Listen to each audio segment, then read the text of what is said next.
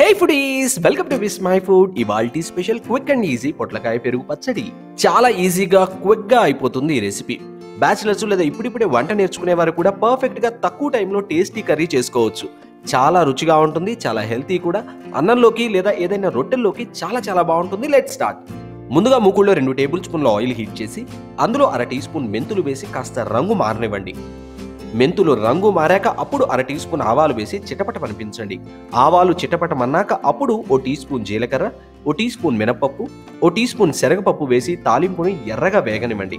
తాలింపు ఎర్రగా వేగాక ఓ ఎండుమిర్చి తరుగు ఓ రెబ్బ కరివేపాకు తరుగు వేసి బాగా వేపండి. ఇవి బాగా వేగాక సుమారు మూడు వందల గ్రాముల లేత పొట్లకాయ ముక్కలు వేసి బాగా కలిపి పావు చెంచా పసుపు సాల్ట్ వేసి బాగా కలిపి ముక్కల్ని బాగా మగ్గనివ్వండి. ఈ ముక్కలు మగ్గడానికి కనీసం పదిహేను నుంచి పద్దెనిమిది నిమిషాల టైం పడుతుంది. మధ్య మధ్యలో కలుపుతూ ఉండాలని గుర్తుంచుకోండి లేదా అడుగు పట్టేస్తుంది. ఇప్పుడు జార్లో నాలుగైదు పచ్చిమిర్చి ఓ టీ స్పూన్ అల్లం తరుగు వేసి మెత్తని పేస్ట్గా చేసుకోండి.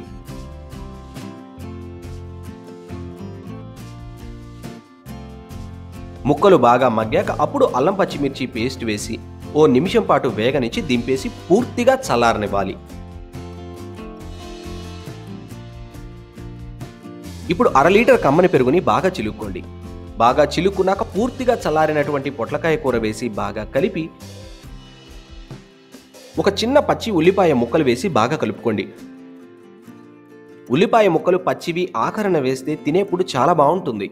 ఇదే పొట్లకాయ పెరుగు పచ్చడిని మరో తీరులో కూడా చేస్తారు. అది గుమగుమలాడిపోతూ చాలా చాలా బాగుంటుంది. అది నేను తొందరలో పోస్ట్ చేస్తాను. మరైతే మీరు ట్రై చేసి మీకు ఎలా కుదిరిందో ఖచ్చితంగా ఆ పిక్ని విస్మై ఫుడ్ ఇన్స్టాగ్రామ్లో పోస్ట్ చేయండి. By the way Vismai food dot com website visit చేయడం అస్సలు మర్చిపోకండి.